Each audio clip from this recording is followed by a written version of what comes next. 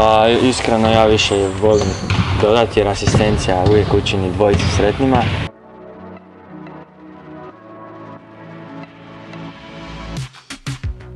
Pa ja sam ne znam, e, sam možda 9 godina krenuo malo ovako na baskete, ono, sa starijima kako su oni igrali košarku, ja sam počeo s njima, uvijek sam htio ono, igrat se i, i to ono, na basketu osjetiš da je košarka zapravo igra i tako sam počeo trenirati i samo nastavio i sad sam tu. Pa to je ono, cijelu godinu skupili smo se, znači nas, ekipa, nas 12, stvarno odlični dečki, svi su talentirani, svi znaju igrat. Skupili smo se i poklopilo nam se sve. Dobro smo igrali, trener nam je dao slobodu i uzeli smo taj naslov juniorskog prvaka.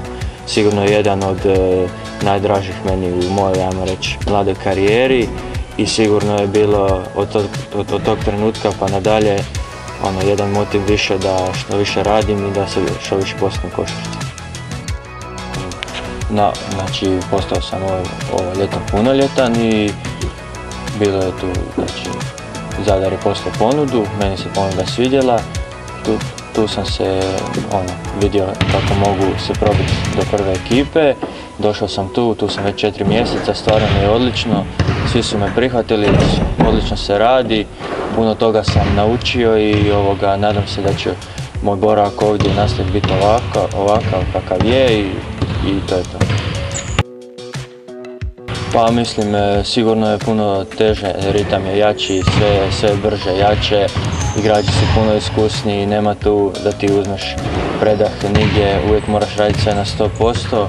Ovo mi je, kako si rekao, prva sezona, pokušavam se prilagoditi, naviknuti što više i dati sve od sebe da, da se pokažem da mogu igrati i da mogu participirati jednako kao i drugi.